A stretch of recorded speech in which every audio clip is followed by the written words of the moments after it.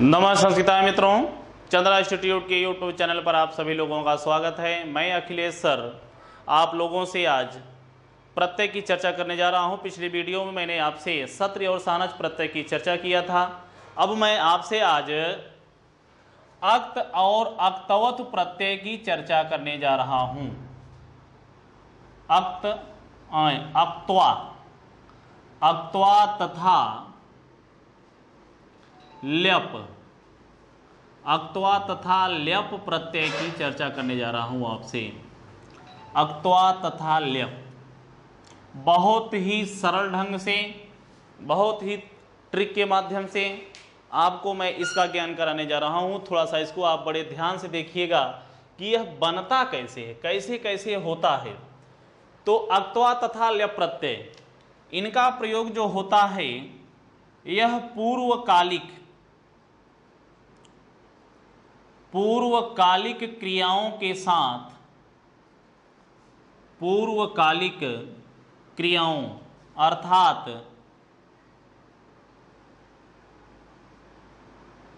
कर या करके अर्थ में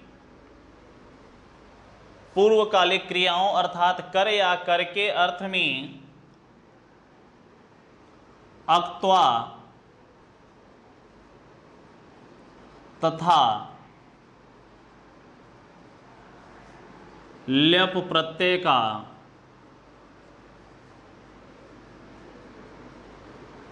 प्रयोग किया जाता है।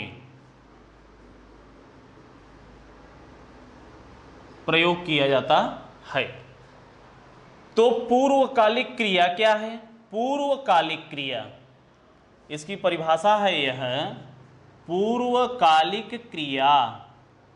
पूर्वकालिक क्रिया क्या है?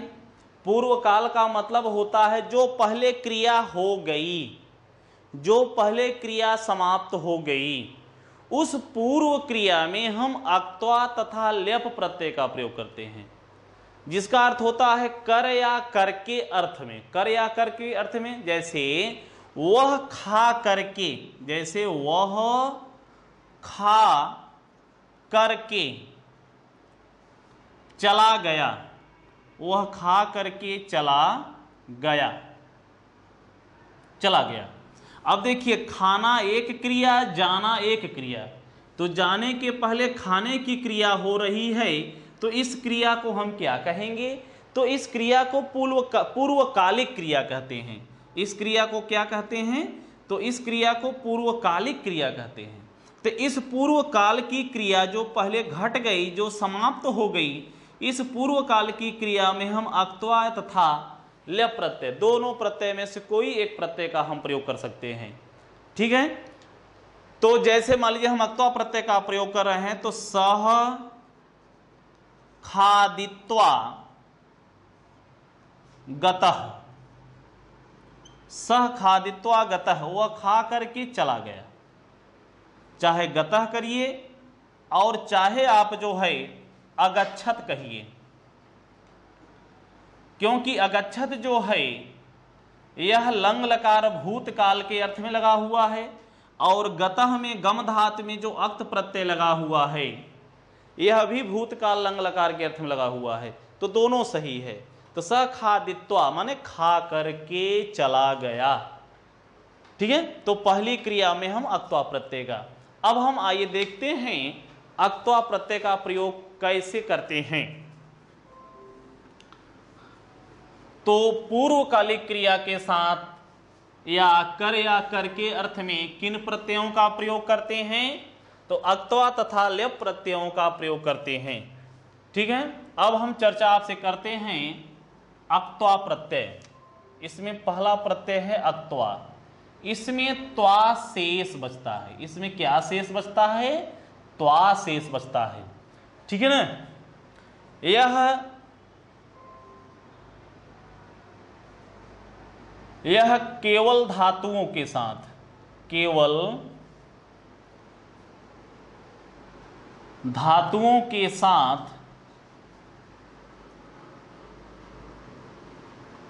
प्रयोग किया जाता है। प्रयोग किया जाता है। और इसमें इसमें त्वा शेष बचता है। केवल धात माने शुद्ध, प्योर धात। उसके आगे पीछे कुछ नहीं।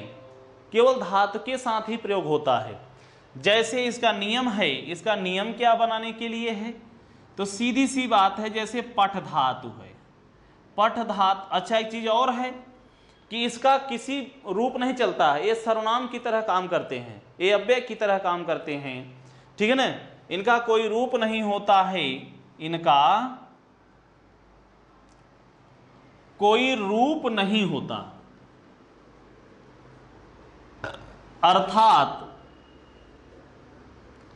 अव्यय की तरह होते हैं। अव्यय की अव्यय की तरह काम करते हैं। इनका कोई रूप नहीं होता है। ये अव्यय की तरह कार्य करते हैं। स्त्रीलिंग हो, चाहे पुलिंग हो, चाहे नपुंसक लिंग हो, तीनों लिंगों में काम करते हैं। ठीक है? इनका बनाने का नियम क्या है? जैसे पठ धातु है, पठ धातु में अक्वा प्रत्यय लगा देंगे। अक्वा में तेज शेष, अक्वा में त्वा शेष बचता है। तो इसका बनेगा पठित्वा। पठ धातु में अक्वा प्रत्यय लगाएँगे तो बनेगा पठित्वा, जिसका अर्थ होता है पढ़ करके। गम धातु में अक्वा प्रत्यय लगाएँगे तो बनेगा गत्वा, जा करके। हंस धातु में अक्वा प्रत्यय लगाएँगे तो बनेगा हसित्वा ठीक? दृश्य धातु में अक्वा प्रत्यय का प्रयोग करेंगे तो बनेगा दृष्टवा। ठीक? प्रच्छ धातु में, पृच्छ धातु में अक्वा प्रत्यय का प्रयोग करेंगे तो बनेगा पृष्ठवा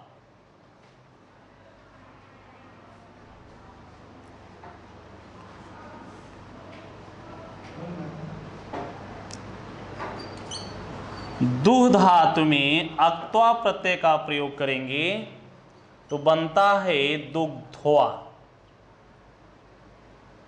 दुग्धवा सीधी सी बात है, अंत में अगर वाह वाह वाह वाह वाह वाह दिखाई दे रहा है, ऐसा कोई दुनिया का दूसरा प्रत्यय नहीं है कि जिसके अंत में वाह वाह वाह वाह आएगा। अंत में अगर वाह वाह दिखाई देता है तो अक्वा अंत में धातु के अंत में वा अक्वा ठीक है?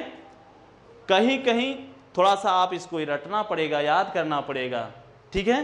पठित्वा, गत्वा, हंसित्वा, दृष्टवा पृष्ठवा दुग्धवा, श्रुत्वा। जैसे श्रु धातु है, श्रु धातु में अक्वा प्रत्यय का प्रयोग करेंगे तो बनेगा श्रुत्वा। वद धातु में अक्वा प्रत्यय का प्रयोग करेंगे तो बनेगा वदित्वा। ठीक है? कथ धातु में अक्वा प्रत्यय का प्रयोग करेंगे तो बनेगा कथित्वा। अद धातु में अक्वा प्रत्यय का प्रयोग करेंगे तो बनेगा जगध्वा। जगध्वा। खाद धातु में अक्वा प्रत्यय का प्रयोग करेंगे तो बनेगा खादित्वा। ठीक है? अंत में यदि वा वा वा वा दिखाई देता है तो वह है अक्वा पठित्वा माने पढ़ करके, गत्वा माने जा करके, हंसित्वा हंस करके, दृष्टवा देख करके पृष्ठवा पूछ करके, दुग्धवा दुह करके, श्रुत्वा सुन करके, वदित्वा बोल करके, कथित्वा माने कह करके, जगध्वा माने खा करके, खादित्वा माने भी खा करके। तो सीधी सी बात है, अंत में अगर वाह वाह दिखाई दे रहा है तो अक्वा त्वा त्वा या वा। त्वा या वा दिखाई देता है तो वह बनेगा आपका अक्वा प्रत्यय। ठीक है? अक्वा प्रत्यय केवल धातुओं के साथ प्रयोग किया जाता है, इसका कोई रूप नहीं होता, यह अव्यय की तरह काम करता है। अब लेप प्रत्यय में क्या अंतर है? क्योंकि वह भी कर या कर के अर्थ में प्रयोग किया जाता है। लेप प्रत्यय भी कर या कर के अर्थ में ही प्रयोग किया जाता है। तो आइए देखते हैं लेप प्रत्यय।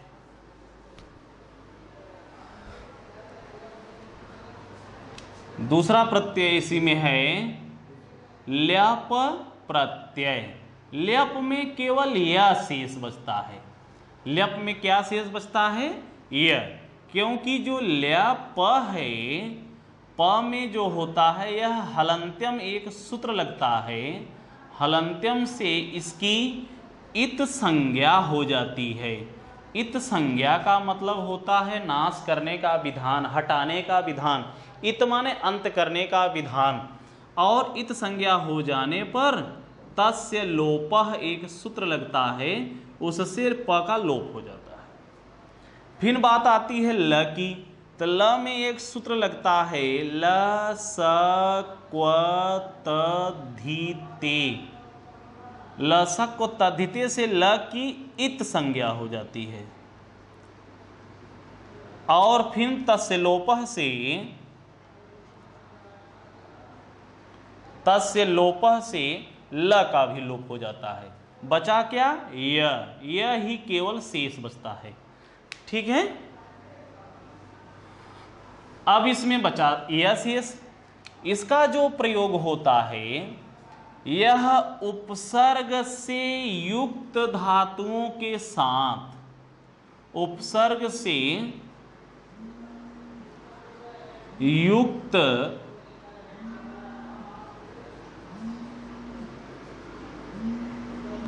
धातुओं के साथ लेप प्रत्यय का उपसर्ग से युक्त धातुओं के साथ लेप प्रत्यय का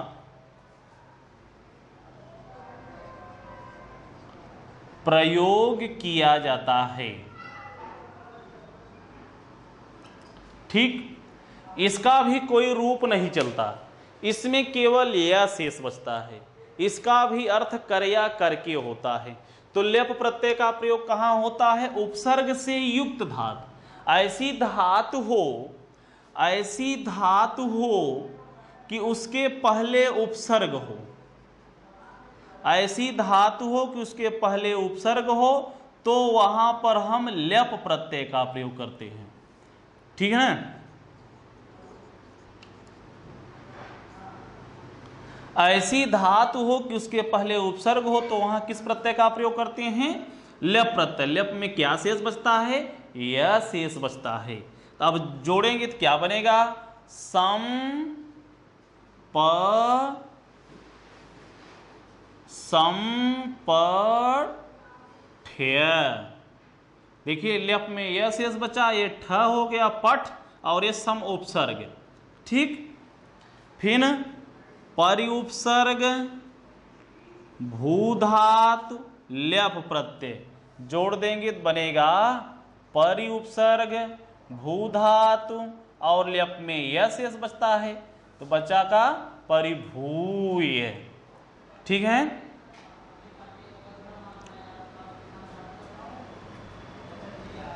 सम उपसर्ग,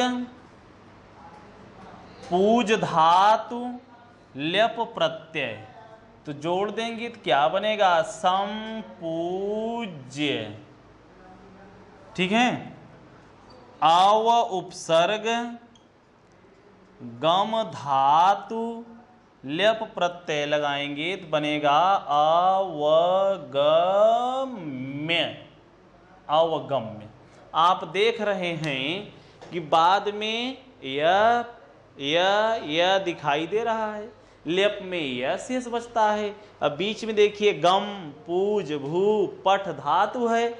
उसके पहले सम परि सम अव उपसर्ग है तो उपसर्ग से युक्त धातुओं के साथ लेप प्रत्यय का प्रयोग किया जाता है, जिसका अर्थ होता है कर या करके।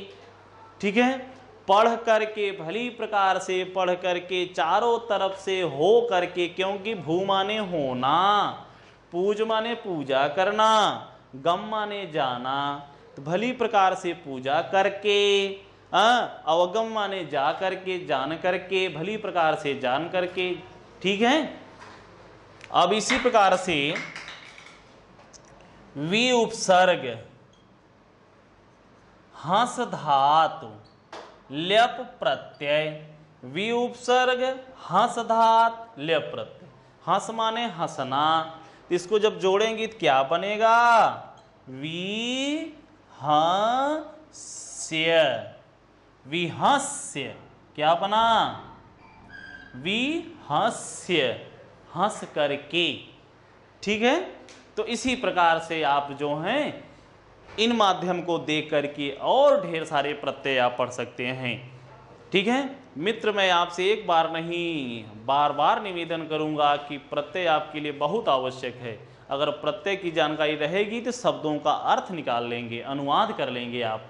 ठीक है? जैसे कुछ उदाहरण हम आपको बता रहे हैं। जैसे, वह पढ़ करके, वह पढ़ करके घर गया।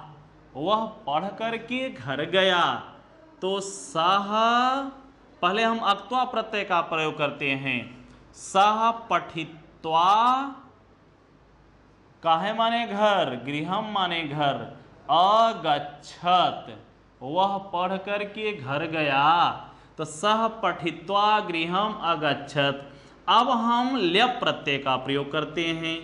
तो सह संपठ्य संपठ्य गृहम अगछत ठीक? जैसे खुशबू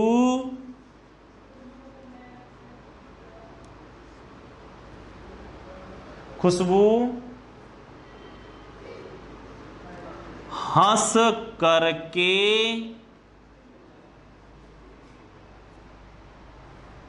खाती है। खुशबू हंस करके खाती है तो खुशबू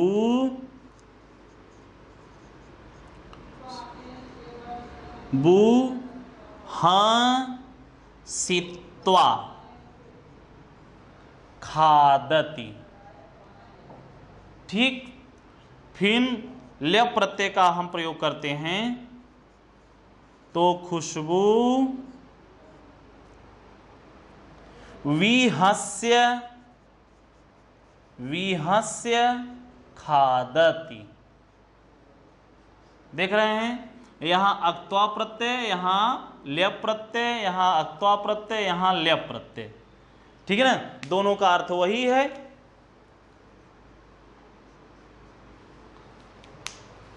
वह पढ़ करके घर गया, सह पठित्वा गृह अगछत वह सह संपठ्य गृह अगछत खुशबू हंस करके खाती है तो खुशबू हंसित्वा खादत।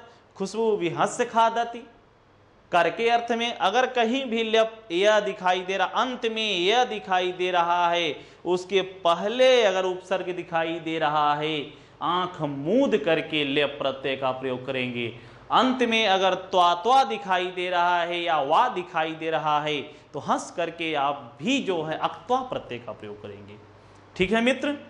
तो अगर मेरी बात आप लोगों, सभी मित्रों को मेरी बात अगर समझ में आई होगी तो मैं आपसे निवेदन करूँगा कि चंद्रा इंस्टीट्यूट के यूट्यूब चैनल पर लाइक करना और शेयर करना न भूलिएगा। आप सभी लोगों को बहुत बहुत धन्यवाद। नमः संस्कृताएँ